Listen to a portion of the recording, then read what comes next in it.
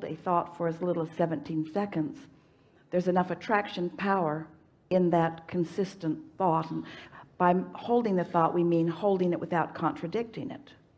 Holding the thought purely without introducing resistance then law of attraction will add momentum to that thought. Another 17 seconds and then another. And once you cross the 68 second mark there's enough momentum to start receiving thought about it to start receiving impulse about it. Surprisingly 68 seconds is a rather long time to focus purely because you are all sort of accustomed to pros and cons and pluses and minuses and being very objective about things and because every subject is two subjects and you often have activated the not wanted end of the stick. So even though you're making a statement of what you do want the other end of the stick is rather active. If you can accept that the whole purpose of paying attention to that 17 seconds is to affect the way you feel and nothing more than that so that you can find that 17 seconds and stay there and then another until your enthusiasm for it is building that's all you have to accomplish. If you can get across that 68 second mark and even beyond everything else will take care of itself.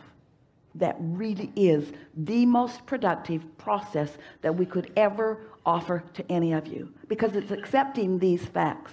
It accepts that you have already created the vibrational reality that you now want to blossom out and to see it hear it smell it taste it touch it fashion. So it already exists. And as you are now playing this 17 second game with that knowledge that it does already exist and that it is a foregone conclusion that it will manifest but you're not going to get hung up in the treacherous territory because that distance between the emotion and the manifestation is where you throw the most stuff on the trail. That's where you throw all the resistance on the trail.